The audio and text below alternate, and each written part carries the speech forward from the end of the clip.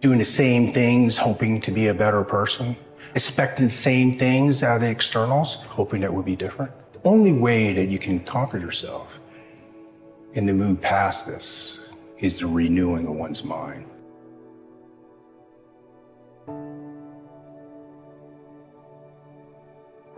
I never like to look back mm-hmm. because it just there's really not much in it for me, right? It's just I always like to look forward. Do I want to look out the windshield or do I want to look through the rear? I rather look forward because I know where I'm going then, rather than always looking at the back. If you think the price of winning is too high, wait till you get the bill from regret. And that bill from regret is generation. And the only way that bill gets paid off is you got to be willing to make the hardest decisions. People will belittle your plan. People will tell you that you have the wrong vision. People will tell you that it will not work. But here's the thing. It's not their vision. It's your vision. It wasn't given to them, but there will be people who will try to tear it down, who will tell you you don't have what it takes, who will tell you that this is impossible?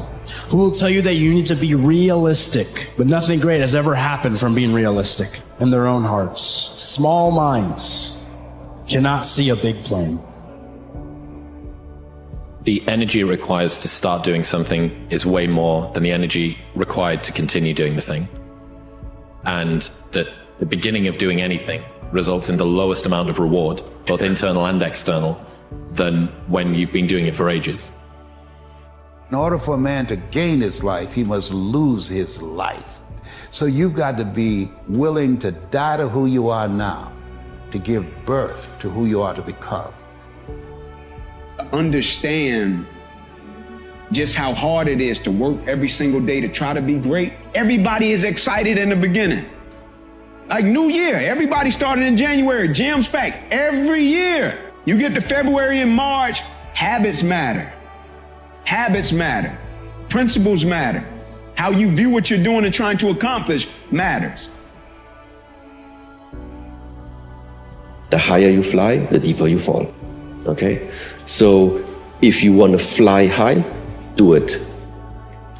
But if you fly high without somebody telling you before you're starting the flight that there will also come the descent, then I think it's kind of blind. Just keep it in mind that there is something in our lifetime which is always balancing out. That's a lesson that people need to hear and learn. It's so important because everybody just wants to be comfortable. Everybody wants to sit on the couch. I don't want to go outside. It's cold. I don't want to do this. It's hot. Like you've got to do things that you don't want to do because you show your body that your mind is the boss, is telling your body what to do, and then you have control. You got to do something, man. Right? If years and years pass and you're just the same dude, then you're not really living in a way. I kind of feel like you're just being pushed through life. I think people are where the they deserve to be. And if you look at what they did over the last 10 years, their life is going to look exactly what it should look like. If you can't become aware of your own internal dialogue, and you can't start to have control over your own internal dialogue, and you can't start to tell the bitch voice that you have in your head to sit the f- down and shut up, you're going to have a very hard time making any year your year. If you want to achieve success, you're going to have to pay the price.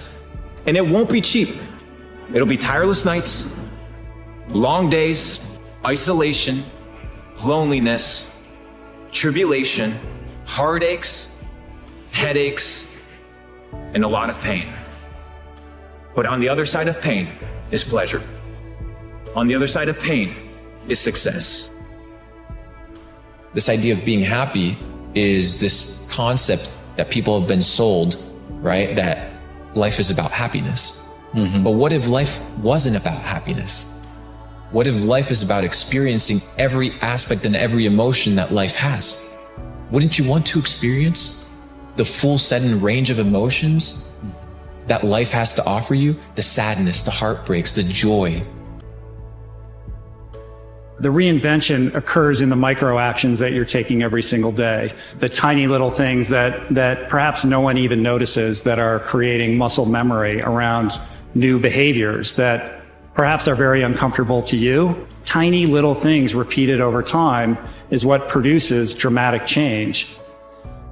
So tell yourself the truth about the situation that you're in. That's what we need to do. And it should hurt a little bit, by the way. It should hurt a little bit. There should be aspects of your life that you know you can improve upon. That should hurt a little bit. Here's the cool thing take ownership of those things, and guess what? Doesn't hurt at all. Now, guess who's in control? You are. But if you're having trouble finding discipline, start by telling yourself the truth about what's going on.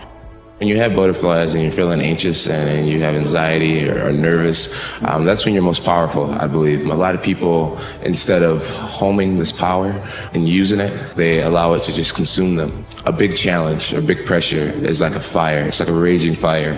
Either you can allow this fire to consume you and just take you over completely, or you can gain control of this fire and harness it if you can dream it, it can potentially become yours with the right energy input, the amount of work ethic necessary, and a good attitude. Understand that you have one life. How you live it is your choice, but life will pass you by. You don't want to be the person that wakes up 30, 40, 50 years from now and regrets what they did.